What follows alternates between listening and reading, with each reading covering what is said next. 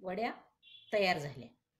अगदी इन्स्टंट वडी थापी वडी म्हणतात ती पद्धतीची ही आपली वडी तयार झाली. आहे की नाही छान आणि पटकन होणार अशी ही आपली पित्रपंधरवड्यात करतात ती वडी तयार झाली. नमस्कार विजेश किचनमध्ये आपलं खूप खूप सर्वांचं स्वागत.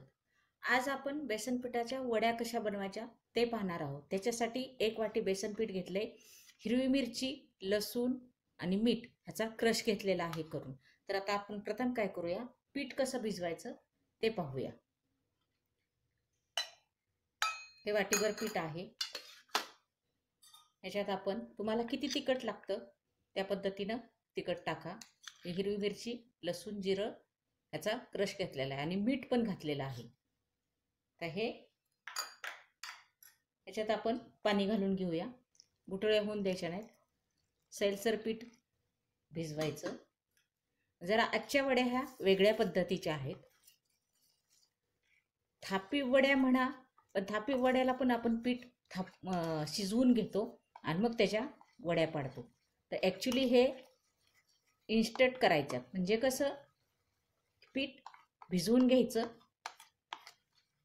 पहिलं पीठ भिजवून घेते.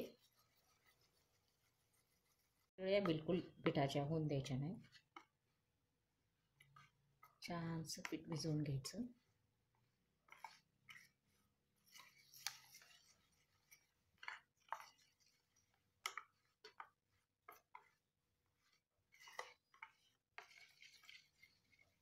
पीठ आपण भिजवून घेतलं. पहा लक्षात ठेवा हे इन्स्टंट केलेलं आहे मी. भांड्याला असं तेल लावायचं. आणि त्याच्यात हे पीठ ओतून द्यायचं.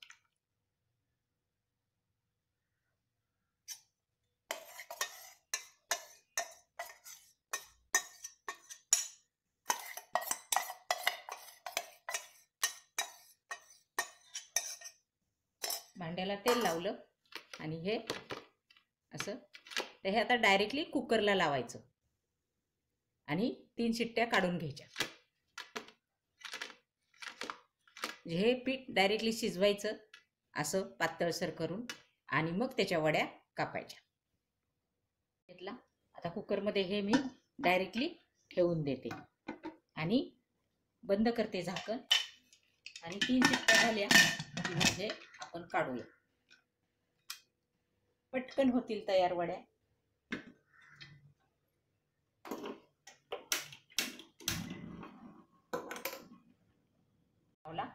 आणि कुकरला तीन शिट्ट्या करून घ्यायच्या. बरोबर पीठ शिजल्या जातं. वड्या तयार झालेल्या आहेत. आता त्या वड्या आपण काढूया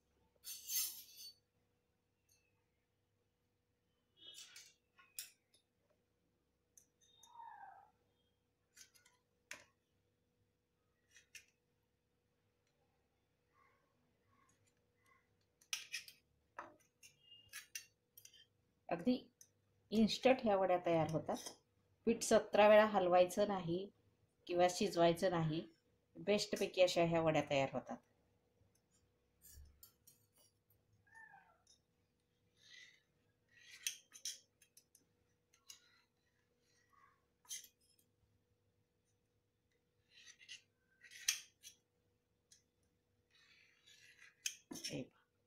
ह्या वड्या आपल्या तयार झाल्या निघतील हे पहा कशा निघतात.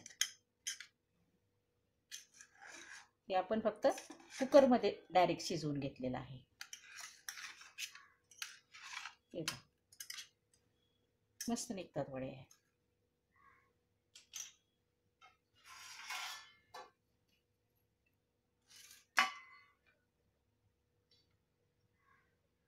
हे मी काढून घेते. ही आपली पित्रपंधरवड्यातली वडी तयार झाली. आवडली तर लाईक करा शेअर करा सबस्क्राईब करा.